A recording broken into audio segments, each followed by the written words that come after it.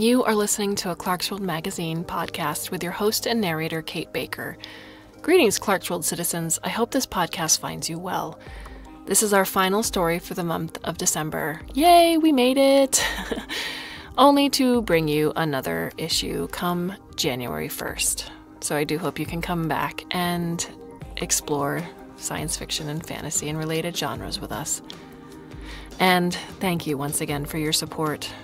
Whether you are a subscriber, you've gone to clarkesworldcitizens.com, you guys are the best. Thank you for making this issue possible every single month. And for those of you who haven't yet, please consider doing so. Each and every dollar, every subscription, every tweet, every Facebook post that you mention Clarkesworld is one more potential subscriber or patron or supporter. So please go to clarkesworldmagazine.com forward slash donate to see the myriad ways where you can make a difference. Our last story is titled Two Year Man and is by one of my favorite people, Kelly Robson. Kelly Robson's short fiction has appeared in Clarkesworld, Tor.com, Asimov's Science Fiction, and multiple years' best anthologies. She was a finalist for the 2017 John W. Campbell Award for Best New Writer. Her novella, Waters of Versailles, won the 2016 Aurora Award and was a finalist for both the Nebula and World Fantasy Awards. She lives in Toronto with her wife, fellow SF writer A.M. Dellamonica. You can find more about Kelly at kellyrobson.com, and she's got a ton of stuff in Clarkesworld.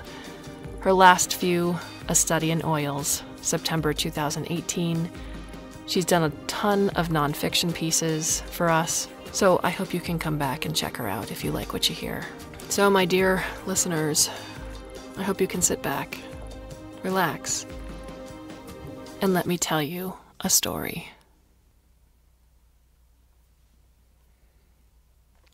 Getting the baby through security was easy.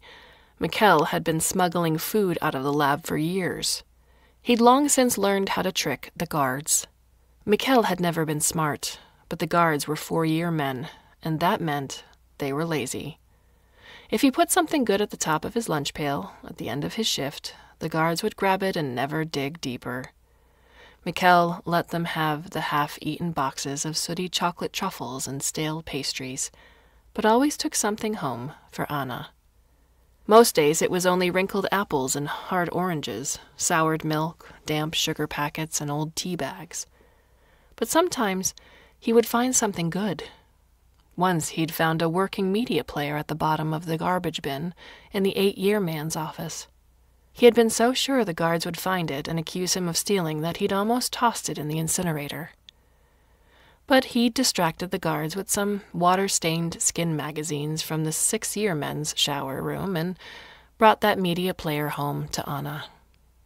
She traded it for a pair of space heaters and ten kilos of good flour. They'd had dumplings for months. The baby was the best thing he'd ever found, and she was such a good girl quiet and still. Mikkel had taken a few minutes to hold her in the warmth beside the incinerator, cuddling her close and listening to the gobble and clack of her strange yellow beak. He swaddled her tightly in clean rags, taking care to wrap her pudgy hands separately so she couldn't rake her talons across that sweet pink baby belly. Then he put her in the bottom of his plastic lunch pail, layered a clean pair of janitor coveralls over her, and topped the pail with a box of day old pastries he'd found in the six year men's lounge. Apple strudel, grunted Herman, the four year man in charge of the early morning guard shift. Those pastry scientists don't know good eats. Imagine leaving strudel to sit. Cafe Sluka has the best strudel in Vienna, so everyone says, Mikkel said as he passed through the security gate. Like you'd know, moron, wouldn't let you through the door. Mikkel ducked his head and kept his eyes on the floor. I heated them in the microwave for you. He rushed out into the gray winter light as the guards munched warm strudel. Mikkel checked the baby as soon as he rounded the corner, and then kept checking her every few minutes on the way home. He was careful to make sure nobody saw, but the streetcars were nearly empty in the early morning, and nobody would find it strange to see a two year man poking his nose in his lunch pail. The baby was quiet and good. Anna would be so pleased. The thought kept him warm all the way home. Anna was not pleased. When he showed her the baby, she sat right down on the floor. She didn't say anything, just opened and closed her mouth for a minute. Mikkel crouched at her side and waited. Did anyone see you take it? she asked, squeezing his hand, like she always did when she wanted him to pay attention. No, sweetheart. Good. Now listen hard. We can't keep it. Do you understand? She needs a mother, Mikkel said. You're going to take her back to the lab, then forget this ever happened. Anna's voice carried an edge Mikkel had never heard before. He turned away and gently lifted the baby out of the pail. She was quivering with hunger. He knew how that felt. She needs food, he said. Is there any milk left, sweetheart? It's no use, Mikkel. She's going to die anyway. We can help her. The beak is a bad taint. If she were healthy, they would have kept her, sent her to a creche. She's strong. Mikkel loosened the rags. The baby snuffed, and her sharp blue tongue protruded from the pale beak. See? Fat and healthy. She can't breathe. She needs us. Why didn't Anna see that? It was so simple. You can take her back tonight. I can't. My lunch pail goes through the x ray machine. The guards would see. If Anna could hold the baby, she would understand. Mikkel pressed the baby to Anna's chest. She scrambled backward so fast she banged her head on the door. Then she stood and straightened her maid's uniform with shaking hands. I have to go. I can't be late again. She pulled on her coat and lunged out the door, then turned and reached out. For a moment he thought she was reaching for the baby and he began to smile, but she just squeezed his hand again, hard. You have to take care of this, Mikkel, she said. It's not right. She's not ours. We aren't keeping her. Mikkel nodded. See you tonight. The only thing in the fridge was a bowl of cold stew. They hadn't had milk for days, but Mikkel's breakfast sat on the kitchen table covered with a folded towel. The scrambled egg was still steaming. Mikkel put a bit of egg in the palm of his hand and blew on it. The baby's eyes widened and she squirmed. She reached for his hand, talons raked his wrist, and her beak yawned wide. A blue frill edged with red and yellow quivered at the back of her throat. Does that smell good? I don't think a little will hurt. He fed her the egg bit by bit. She gobbled it down greedy as a baby bird. Then he watched her fall asleep while he sipped his cold coffee. Mikkel wet a paper napkin and cleaned the fine film of mucus from the tiny nostrils on either side of her beak. They were too small, but she could breathe just fine through her mouth. She wouldn't cry, though. She just snuffled and panted. And the beak was heavy. It dragged her head to the side. She was dirty, smeared with blood from the incineration bin. Her fine black hair was pasted down with a hard scum that smelled like glue. She needed a bath and warm clothes and diapers, also something to cover her hands. He would have to trim the posts off her talons. He had held her until she woke, then he brought both space heaters from the bedroom and turned them on high while he bathed her in the kitchen sink. It was awkward and messy and took nearly two hours. She snuffled hard the whole time, but once he'd dried her and wrapped her in towels, she quieted. He propped her up on the kitchen table. She watched him mop the kitchen floor, her bright brown eyes following his every move. When the kitchen was clean, he fetched a half empty bottle of French soap he'd scavenged from the lab, wrapped the baby up tightly against the cold, and sat on the back stairs waiting for Chaim to come trotting out of his apartment for a smoke. What's this?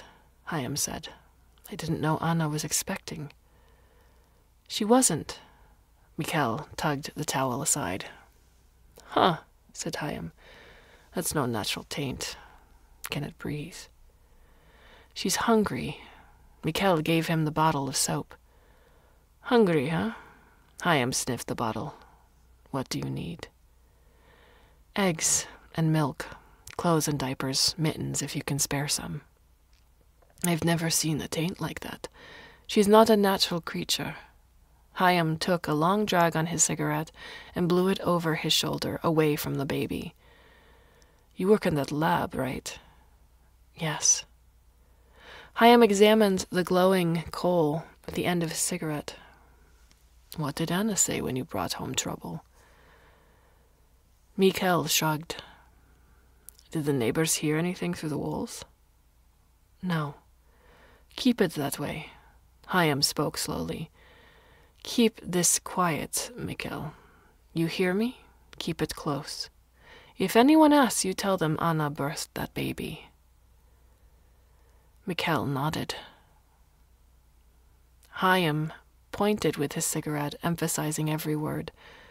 If the wrong person finds out, the whole neighborhood will talk. Then you'll see real trouble. Four year men tromping through the building, breaking things, replaying the good days in the colonies. They like nothing better. Don't you bring that down on your neighbors. Mikhail nodded. My wife will like the soap. Chaim ground out his cigarette and ran up the stairs. There now, Mikhail said. The baby gazed up at him and clacked her beak. Who says two year men are good for nothing? Four year men said it all the time. They were everywhere, flashing their regimental badges and slapping the backs of their old soldier friends. They banded together in loud bragging packs that crowded humble folks off buses and streetcars, out of shops and cafes, forcing everyone to give way or get pushed aside. Six year men probably said it too, but Mikhail had never talked to one. He saw them working late at the lab sometimes, but they lived in another world, a world filled with sports cars and private clubs. And who knew what eight year men said? Mikhail cleaned an eight year man's office every night, but he'd only ever seen them in movies. Nobody made movies about two year men. They said four year men had honor, six year men had responsibility, and eight year men had glory. Two year men had nothing but shame. But it wasn't true. Chaim said so. Two year men had families, parents, grandparents, uncles and aunts, brothers and sisters, children and wives who depended on them. They had jobs, humble jobs, but important all the same. Without two year men, who would grub away the garbage, crawl the sewers, lay the carpets, clean the chimneys, fix the roofs? Without two year men, there would be nobody to bring in the harvest, no sweet strawberries or rich wines. And most important, Chaim said, without two year men, there would be nobody parents could point at and say to their sons, Don't be like him. Chaim was smart. He could have been a four year man easy, even a six year man, but he was a Jew, and that meant a two year man almost always. Gypsies, too, and Hutterites, and pacifists. Men who couldn't walk or talk, even blind men all drafted and sent to fight and die in the colonies for two years, then sent home to live in shame while the four year men fought on, fought to survive and come home with honor. Chaim returned swinging a plastic bag in one hand and a carton of eggs in the other. A bottle of milk was tucked under his arm. This is mostly diapers, he said, brandishing the bag. You'll never have too many. We spend more on laundry than we do on food. I can wash them by hand. No, you can't. Take my word for it. Chaim laughed and ran up the stairs. Welcome to fatherhood, Mikhail. You are a family man now. Mikhail laid the baby on the bed. He diapered and dressed the baby, and then trimmed her talons with Anna's nail scissors. He fitted a sock over each of the baby's hands and pinned them to her sleeves. Then he wedged Anna's pillow between the bed and the wall, tucked the baby in his arms, and fell into sleep. He woke to the clacking of the baby's beak. She yawned, showing her colorful throat frill. He cupped his hand over her skull and breathed in the milky scent of her skin. Let's get you fed before Mamma comes home, he said. He warmed milk in the soup pot, A baby needed a bottle when it didn't have a breast, he knew, but his baby, his clever girl, held her beak wide and let him tip the milk into her, teaspoon by teaspoon. She swallowed greedily and then demanded more. She ate so fast he could probably just pour the milk in a steady stream down her throat, but milk was too expensive to risk spitting up all over the kitchen floor. Mikkel, said Anna. She was standing in the doorway in her scarf and coat. Mikkel gathered the baby in his arms and greeted Anna with a kiss like he always did. Her cheek was cold and red. How was your day? he asked. The baby looked from him to Anna and clacked her beak. Anna wouldn't look at the baby. I was late. I got on the wrong bus at the interchange and had to backtrack. Mrs. Spiven says one more time and that's it for me. You can get another job, a better one, closer to home. Maybe. Probably not. Anna rinsed the soup pot, scooped cold stew into it, and set it on the stove. She was still in her coat and hat. The baby reached out and hooked Anna's red mitten out of her pocket with the trimmed talon poking through the thin gray knit sock. The mitten dangled from the baby's hand. Anna ignored it. Sweetheart, take off your coat, Mikkel said. I'm cold, she said. She struck a match and lit the burner. Mikkel gently pulled on her elbow. She resisted for a moment and then turned. Her face was flushed. Sweetheart, look, he said. Anna dropped her gaze to the floor. The baby clacked her beak and yawned. I thought we could name her after your mother. Anna turned away and stirred the stew. That's crazy. I told you we're not keeping her. She has your eyes. The spoon clattered to the floor. Anna swayed. Her elbow hit the pot handle and it tipped. Mikkel steadied it and shut off the flame. Anna yanked back her chair and fell into it. She thrust her head in her hands for a moment and sat back. Her eyes were cold and narrow, her voice tight. Why would you say that? Don't say that. Why couldn't Anna see? She was so smart, so much smarter than him, and he could see it so easily. Mikkel searched for the right words. Your eggs. Where did they go? It doesn't matter. I needed money, so I sold my ovaries. That's the end of it. Mikkel ran his fingers over his wife's chapped hand, felt the calluses on her palm. He would tell her the awful things, and she would understand. I know where your eggs went. I see them in the tanks every night and in the labs, in the incinerator. I mop their blood off the floor. Anna's jaw clenched. He could tell she was biting the inside of her cheek. Mikkel, lots of women sell their ovaries. Thousands of women. They could be anyone's eggs. Mikkel shook his head. This is your baby. I know it. You don't know anything. What proof do you have? None. She laughed once, a barking sound. And it doesn't matter. Anyway, because we're not keeping her. People will find out and take her away.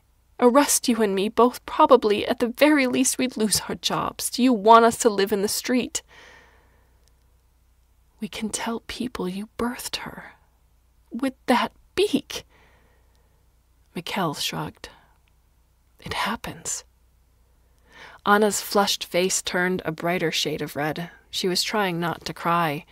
He ached to squeeze her to his chest. She would just pull away, though. Anna would never let him hold her when she cried. They ate in silence. Mikkel watched the baby sleep on the table between them. Her soft cheek was chubby as any child's, but it broadened and dimpled as it met the beak, the skin thinning and hardening like a fingernail. The baby snuffled and snot bubbled from one of her tiny nostrils. Mikkel wiped it away with the tip of his finger. Mikkel checked the clock as Anna gathered the dishes and filled the sink, only a few minutes before he had to leave for the lab. He snuggled the baby close, her eyelids fluttered. The delicate eyelash fringes were glued together with mucus. You have to go, said Anna. She put his lunch pail on the table. In a minute, he said. Mikkel dipped his napkin in his water glass and wiped the baby's eyes. Anna leaned on the edge of the sink. Do you know why I married you, Mikkel? He sat back, startled. Anna didn't usually talk like this. He had wondered often. Anna could have done better, married a smart man, a four year man even. Will you tell me, sweetheart? I married you because you said it didn't matter. I explained I could never have babies, and you still wanted me. Of course, I want you. I told you why I was barren, why I sold my ovaries. Do you remember? Your mother was sick. You needed the money. Yes, but I also said it was easy because I never wanted babies. I never wanted to be a mother. She leaned forward and gripped his shoulders. I still don't. Take her back to the lab. Mikkel stood. He kissed the baby's forehead. Then he put the baby in Anna's arms. Her name is Maria, he said. After your mother. Mikkel was tired walking up the street toward the bus stop, but that was fatherhood. He would get used to it. Anna would get used to being a mother, too, he was sure. All women did. The thought of his wife and child kept him warm all the way to Josefstadt streetcar station. Then a four year man shoved an elbow in his ribs and spat on his coat. Mikkel watched the spittle freeze and turn white. He stood shivering at the edge of the curb, taking care to stay out of everyone's way. Mikkel relied on Anna's kindness. Sure, she would always do the right thing, the generous thing. She was good to him, good to everyone. For ten years she had taken care of him, cooking, cleaning, making their two rooms into a home. In return, he did his best to fill those two rooms with love. It was all he could do. As he stood in the wind at the edge of the station, doubts began to creep in with the cold. Why would Anna say she didn't want to be a mother? It couldn't be true. They lived surrounded by families, happy, noisy families, three and four, even five generations all living together. Healthy children, happy mothers, proud fathers, aunts, uncles, cousins, grandparents. Family everywhere, but he and Anna only had each other. Anna must regret being barren. Some part of her buried deep must long for children. But she said she didn't, and if it was true, then something in her must be broken. He had seen broken men during his two years in the colonies, men with whole bodies and broken minds, who said crazy things and hurt themselves, hurt others. Anna could never be like them. But his doubts grew with every step further from home, by the time he could see the lights of the lab glowing through the falling snow, the doubts were clawing at him. He imagined coming home in the morning to find Anna alone, ready to leave for work, pretending Maria had never been there. He turned back home, but then one of the four year men shouted at him through the glass doors. You're late, you stupid ass. Mikkel watched his lunch pail slide through the x ray, the guards ran it back and forth through the machine just to waste time. Mikkel had to run to the time clock. He stamped his card just as it clicked over to eight. Normally, Mikkel loved the rhythm of work the scrubbing, the mopping, wiping, even cleaning toilets brought its own reward. He knew the drip of every tap, every scratch on the porcelain and crack in the tiles. He took an inventory of them, night by night, as he cleaned, taking his time, double checking every corner for dust scanning every window and mirror for streaks, even getting down on his knees to swab behind the toilets, scrubbing away any hint of mildew from the grout, finding all the little nooks and crannies. Tonight, he rushed through his work, but each room felt like it took twice as long as usual. He kept checking the time, sure he was falling behind. Thinking about Anna dragged on the clock hands. Worrying made him forgetful too. He left the four year men's bathroom with no memory of cleaning it. He had to go back and check just to be sure. In the tank room, he began to feel better. He loved the noise of the tanks, the bubbling pumps and thumping motors. Here, he always took his time no matter what. It was his favorite place in the whole building. He wasn't supposed to touch the tanks, but he always took a few extra minutes to polish the steel and glass and check the hose seals. He even tightened the bolts that fixed each heavy tank to the floor and ceiling. The tinted glass was just transparent enough to show the babies floating inside. Mikhail watched them grow night by night. He kept a special rag just for polishing the tanks, a soft chamois that a six year man had discarded years ago. It was specially made for precious things the logo of a sports car company had long since worn off. He'd always polish the glass with long, slow, caressing strokes, sure the babies could feel his touch. Two of the tanks were empty. Mikhail polished them too, in their turn, making them perfect for the next baby. Maria's tank was in the last row on the far side of the room, two from the end. It was refilled, but the baby was still too small to see, just a thin filament dangling from the fleshy organ at the top of the tank. Your sister says hello, Mikhail whispered. Her mama and papa are proud of her. Maria's going to grow up smart and strong. The filament twisted and drifted in the fluid. Mikhail watched it for a few minutes, wondering what Anna and Maria were doing at the moment. He imagined them curled up in bed, skin to skin, the baby's beak tucked under Anna's chin. He squeezed his eyes tight and held the image in his mind, as if he could make it real just by wanting it so badly. And for a few minutes, it did feel real, an illusion supported by the comforting tank room sounds. But he couldn't stay there. As he lugged his bins and pails upstairs to the offices, worry began gnawing at him again. Women abandoned babies all the time. The mothers and grandmothers in the tenement always had a story to tell about some poor baby left out in the cold by a heartless and unnatural mother. Once, when they were first married, Anna told the woman next door that people did desperate things when they had run out of options. That neighbor still wouldn't speak to her years later. What if Anna bundled Maria up and put her on the step of some six year man's house? or left her at the train station. He could see Maria now, tucked into their big kitchen pail and covered with a towel. He could see Anna, her face covered by her red scarf, drop the pail on the edge of Ostbahnhof express platform and just walk away. No, his Anna would never do that. Never. He wouldn't think about it anymore. He would pay attention to his work. On the wide oak table in the eight year man's office, he found four peach pastries, their brandied jam dried to a crust. The bakery box was crushed in the garbage bin. When he was done cleaning the office, he refolded it as best as he could and put the pastries back inside.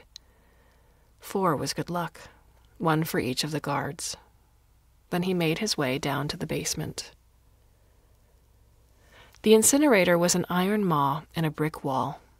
For years, Mikhail had walked down those concrete steps in the hot red light of its stair to find the sanitary disposal bin, bloody but empty, its contents dumped by one of the four year men who assisted in the labs.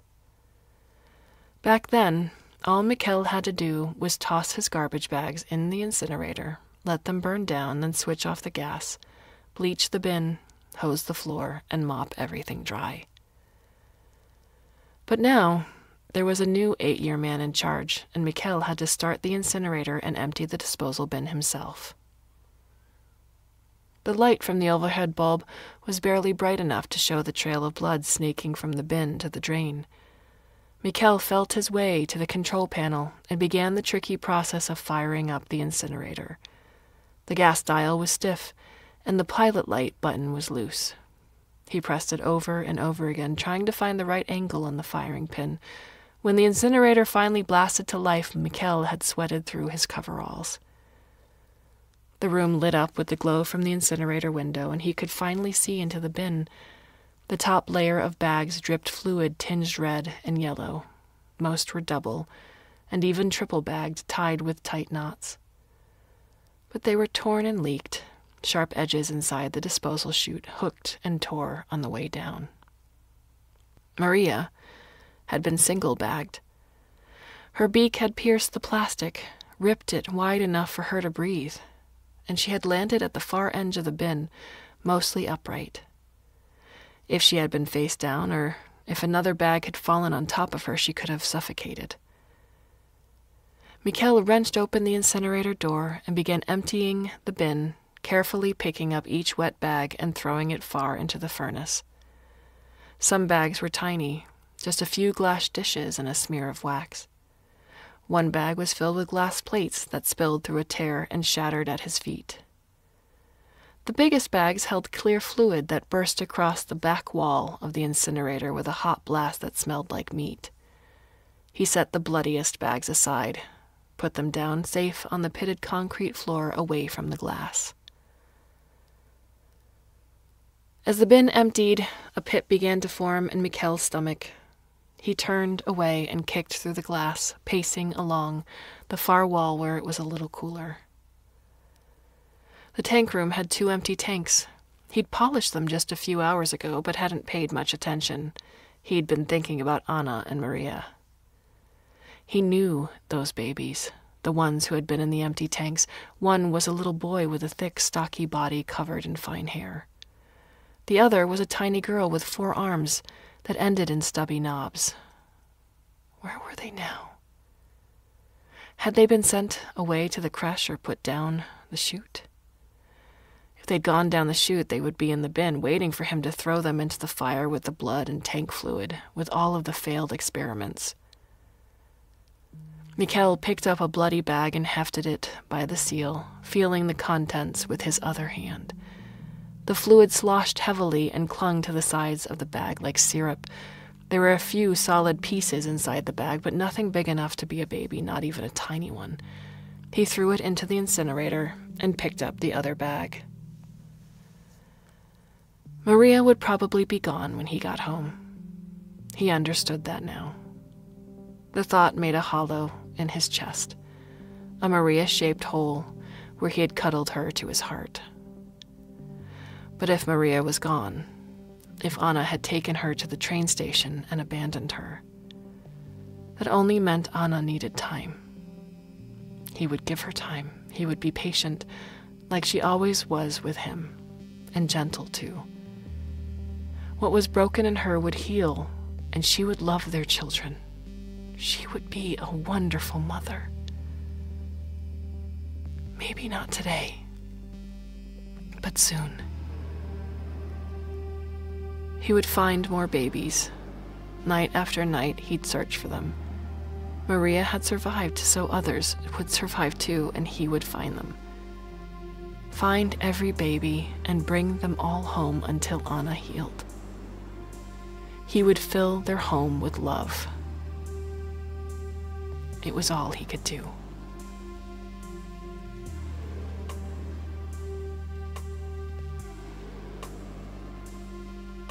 This story was originally published in Asimov's Science Fiction, August 2015.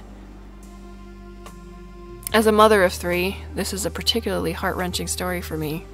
Kelly paints a bleak future for civilization, one that continues to experiment and while we don't necessarily know the reasons why, this is clearly a case of science gone unchecked, and of an oppressive system, a classist system. While I opened up this commentary with the fact that I am a mother, I understand that there are women out there who just can't be mothers, who don't want to be mothers, who are pressured by society to be mothers. And while I can understand the plight that Mikkel is is dealing with and the the hurt that he is dealing with. I also understand where Anna is coming from too, where there is a pressure to have family, part of the species procreation. And I'm not sure in this particular universe if Mikkel and Anna can truly coexist and be happy What are your thoughts on the story? You can leave us a comment or a question at the Clarkesworld Magazine website itself, or you can go to the About Us page where all of our contact information is listed. As I mentioned before, this is the last story for December.